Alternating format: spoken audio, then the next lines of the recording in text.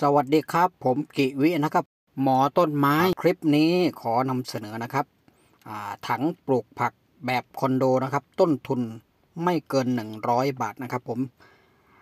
ก่อตัวแล้วก็ทำขึ้นจากาขยะนะครับ เศษถังเศษขยะพลาสติกเก่านะครับที่ไม่ได้ใช้แล้วนะครับ ทิ้งทิ้งๆคว้างๆนะครับ อยู่ภายในสวนนะครับ ก็เลยลองเก็บมาประกอบ มีทั้งกระมังเก่าที่ใช้ปลูกผักอยู่แล้วนะครับ อ่าซึ่งพื้นที่จะจำกัดนะครับ ตรงนั้นก็เลยเล็งเห็นว่าตรงนี้เออมันน่าจะใช้ทำประโยชน์ได้ได้หลากหลาย แล้วก็ขยะเปียกนะครับที่ปะปนอยู่กับขยะแห้งอยู่ในโคลนนะครับ จะได้ถูกบูรณาการและจัดการออกมาแบบสร้างสรรค์นะครับ ก็เลยใช้แฮชแท็กตรงที่ว่าขยะมีชีวาครับผมนะ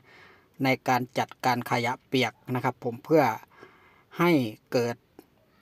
มีชีวิตชีวาขึ้นมาโดยการเอามาหล่อเลี้ยงเป็นปุ๋ยหมักนะครับ หล่อเลี้ยงพืชนะครับผม เมื่อได้พืชได้ผักแล้วก็เป็นอาหารหล่อเลี้ยงชีวิตคนเรานี่แหละครับผมนะนะครับป่องขยะเปียกและกล้าผักสลัดนะครับ กล้าผักสลัดที่เตรียมไว้อาอายุ 15-20 วันแล้วนะครับ ก็พร้อมที่จะอเอาลงปลูกนะครับ ตรงข้างถังตรงช่องที่เราเจาะรูไว้นะครับ การปลูกผักแบบถังคอนโดสามชั้นนี้นะครับ ปลูกแนวตั้งนี้อ่าจำลองแบบมาจากธรรมชาตินะครับ เน่าเปื่อยทับถมนะครับ และเขาจะจัดการของเขาเองอยู่ในพื้นที่จำกัดนะครับสำหรับท่านที่ถามมาว่าท่อตรงกลางมีไว้ทำไมนะครับ นี่ครับคำตอบอยู่ตรงนี้ครับ เศษอาหารครับผมจากในครัวเลยครับเนี่ยวันหนึ่งเยอะมากครับ ผมทิ้งทั้งสองรอบสามรอบทีนี้มันมีชุดสองชุดมันไม่พอเลยต้องขยายทำชุดเพิ่ม เพื่อที่จะให้เพียงพอกับขยะที่หมุนเวียนทิ้งนะครับ บางทีเขาเน่าเปื่อยทับถมไม่ทัน นี่นะครับปองต้องเอาฝาอ่าพลาสติกครอบไว้อย่างนี้นะครับ เนี่ยดูเลยครับเปียลงไปอย่างนี้นะครับ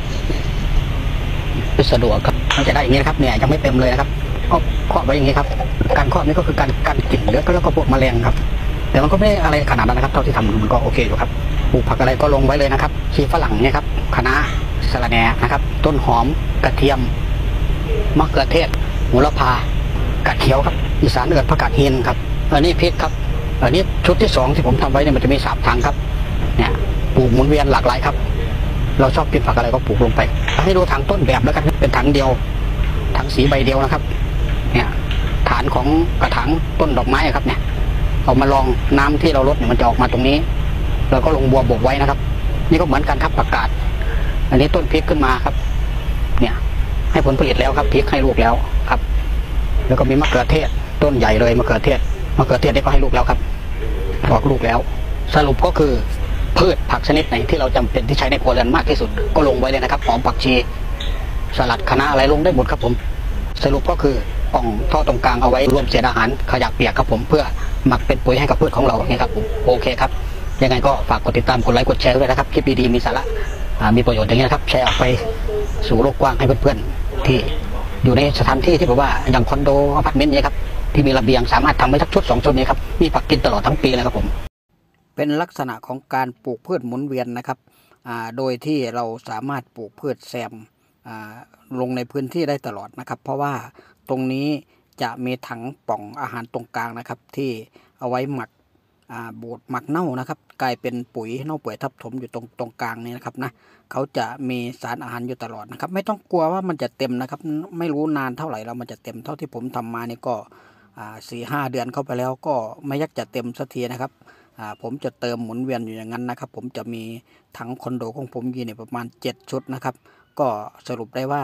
เติมอาทิตย์ละครั้งนะครับ ผมยังไม่เต็มนะครับพืชผักงามเห็นผลนะครับ ผมให้ผลผลิตดีมาก เพราะว่าปุ๋ยอภิมหาพลังอยู่ตรงป่องกลางของอถังนะครับ เป็นปุ๋ยอย่างดีเยี่ยม